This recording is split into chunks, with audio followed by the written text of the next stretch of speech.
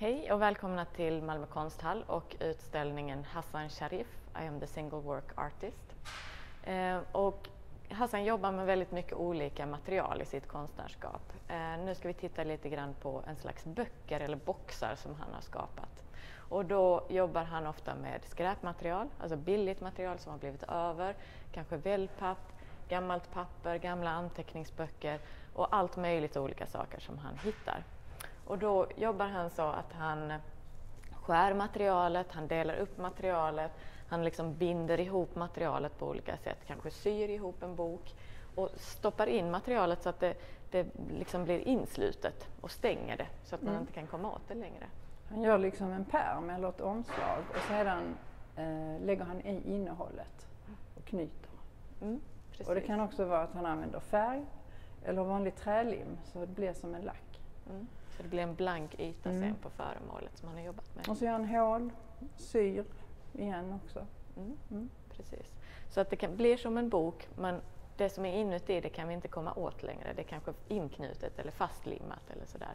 Så att det är som en hemlighet som mm, han gömmer. Och det enda vi kan fundera på är liksom, vad kan det vara här inne i dem? Vad kan han ha lämnat för hemlighet som vi inte längre kan se? Ja. Då tänkte vi bygga någonting eh, där vi kan ha det här innehållet, de här diagrammen. Och eh, en vanlig låda, kartong, som man fått någonting hemskickat i. Som vi klipper sönder. Man kan också använda en tapetkniv om man har det. Mm. Då är det bra att en vuxen hjälper till. Den är ganska hård. Ja.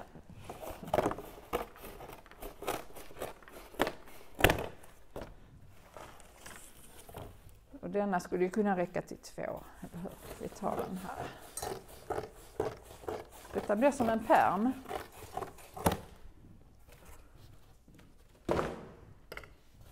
Och då behöver vi göra en rygg, Ylva. Mm. Ska jag göra en litet märke med den? Mm. Då kan man ha en linjal. Man kan använda en vanlig matkniv som man har hemma och liksom göra en, eh, ett streck där man ska bocka pappen. Det är lätt att bocka papp åt ett håll där det är sådana ränder i kan man säga. Åt andra hållet är det betydligt svårare att bocka det. Man kan också använda de vecken som redan finns i kartongen. Vi hoppas att jag inte kommer ända igenom. Då får vi bara förstärka med tejp. Precis. Så. Så. så där man har gjort ett streck så kan man böja. Har vi en, här en också. Just det, där måste vi ha den här ryggen. Får vi göra en till sån här märkning.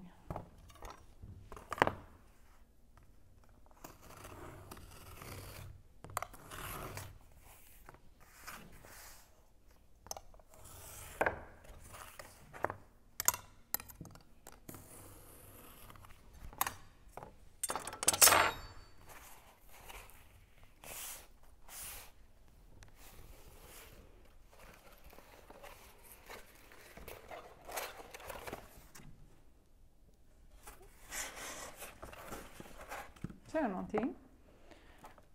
Ehm, du får inte riktigt plats med A4 men nu mm. Ja men då kan vi vika ihop det vi har också.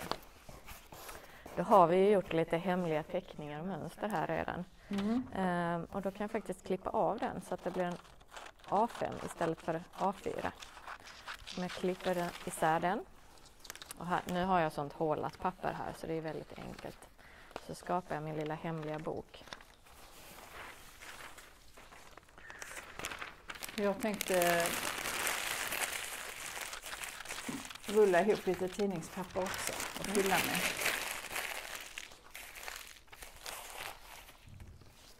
Så här sätter jag upp själva innehållet och då så har jag lite blått garn som jag har här. Och då är det enkelt att bara använda de här hålen för att sätta ihop boken så att säga. Oj, nu var den lång. Lång där.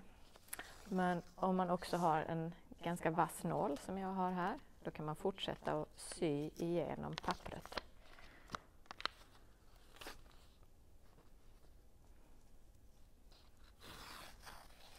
Så blir det som en liten minibok inuti den här boken. Mm. Och stygnen kan vara olika långa. Mm. Det behöver liksom inte vara jämnt utan det är bara kul att det blir Precis. lite oskickligt med känsla. Precis. Och de här stygnen blir ju nästan också som de här strecken som vi har ritat. Så det, fick de väldigt jämna. Ja. tar jag en till sån här. Då ska jag tänka ut hur jag ska få dralet för vi måste liksom kunna stänga den. Och då behöver vi lite hål. Just ehm, sax. Det funkar.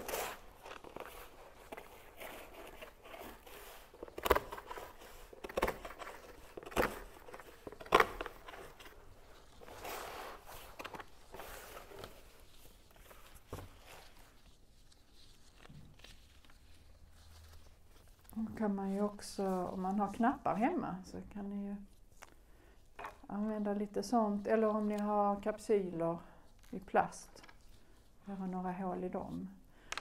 Och så repetition, sätta fast många olika av samma sort kanske. Precis, och precis som Hassan så kan man bara ta det man hittar. Man kan titta kanske i plaståtervinningen eller i pappåtervinningen och se vad, vad som finns. Eller i, pyssellådan hemma vad det kan finnas för material. Här är vår lilla hemliga bok i alla fall som vi ska stoppa in i boken. Göra hål i pärmen till den? Mm. Här fick jag en bra trasslig bit. ja.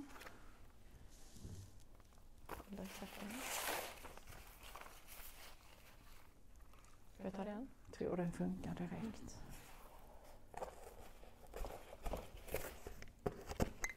Och sen, många av Hassans böcker och objekt jobbade han med trälim eller tapetklister för att få liksom en, den ska bli lite uppblött och få nytt liv på något sätt. Så att vi har också lite trälim här som vi mm. tänkte måla med och när det torkar så blir det glansigt. Mm. Lite som en lack. Man kan ju också använda färg. Om man har det hemma, eller kritor.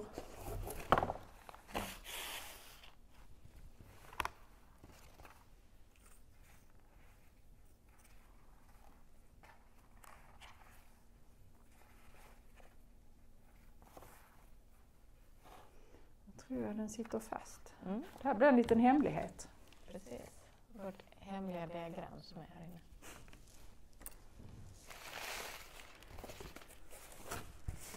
Nu sitter den fast. Mm.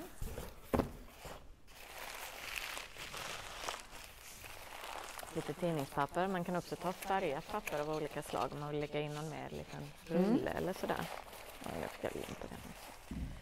Och vi har wellpapp också, den här mjuka sorten.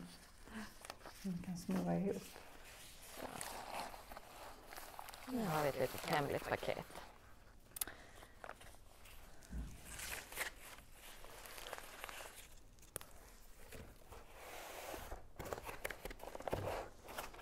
Då behöver vi göra hål i den också. Man kan ju sy runt om hela, eller hur? Ja. Då behöver vi längre snöre.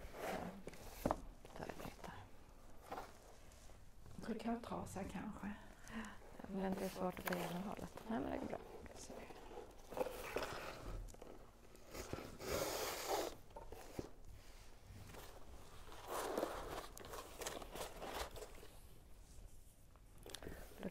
Men om du tar den runt hela. Mm.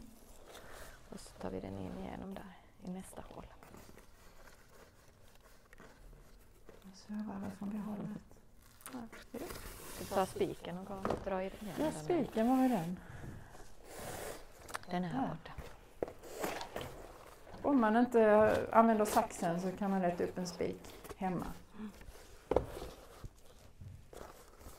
Ja, ska vi ha den att trycka med? Nu ser jag ingenting där. Så. Använder man spiken för att trycka igenom den lite.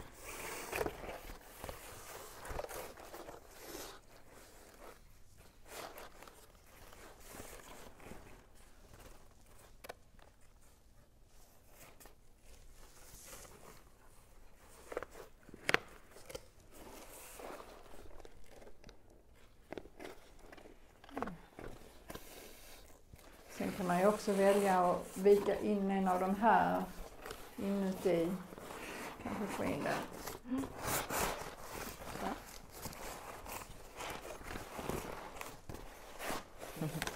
Så, ska vi knyta den nu kanske på undersidan? Och så kan vi göra en runt så kanske. Mm. kan vi göra en skåra här. Just det, det gör han ofta. Man märker ju det här är ganska fysiskt och rätt. Man får ta i lite. Precis. Då tar vi den ner i skåran. Och så tar vi den. Nej, det är bra. Och så knyter vi ihop här. Vill du hålla fingret antingen?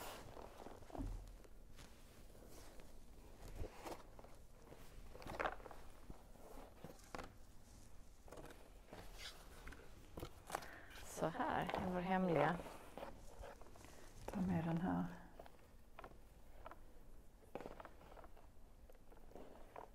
Just det, det kan vara bra att kunna öppna. Så vi bara knyter. Och Hassan gjorde ju så här någon gång när han åkte eh, med flygplan. Och så han, det går att öppna men de öppnade den aldrig. Har jag Det var lite jobbigt. Så det var hemligt. Mm. Eh, och sen kan man då måla med eh, sån här trälim som är utspätt med lite vatten. Och då mjuknar ju pappen. Man kan göra det före eller efter. Men det kommer också bli en ganska fin, lite glansig yta.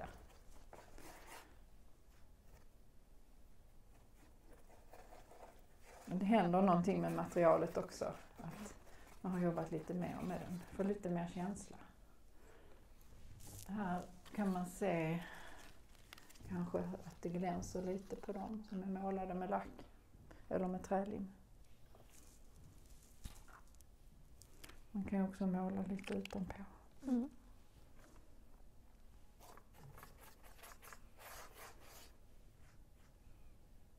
Och så finns det ju inga gränser hur mycket man sätter fast och fortsätter på boken.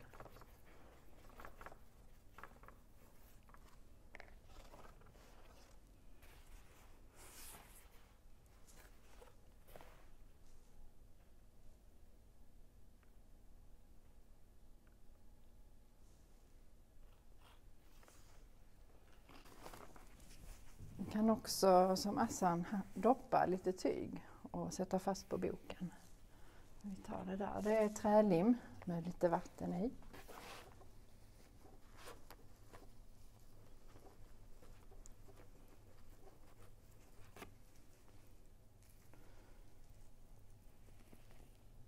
Se var vi har plats.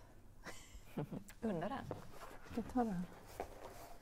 Det gör ju inget att det blir lite den kan bli jämn eller så kan den bli lite skrynklig. Det går bra vilket som. Och när man tar just sådär trälim på tyg och låter det stelna, då kan det bli liksom en sån här hård grej, en form. Som liksom, det här är ju vanligt mjukt tyg, men eftersom den är limmad så blir den helt stel. Det är ganska skönt att hålla på med händerna om man vill det, annars tar man också en pensel. Mm. Och då kan man klä in sin box på några ställen om man vill. Något sånt. Mm.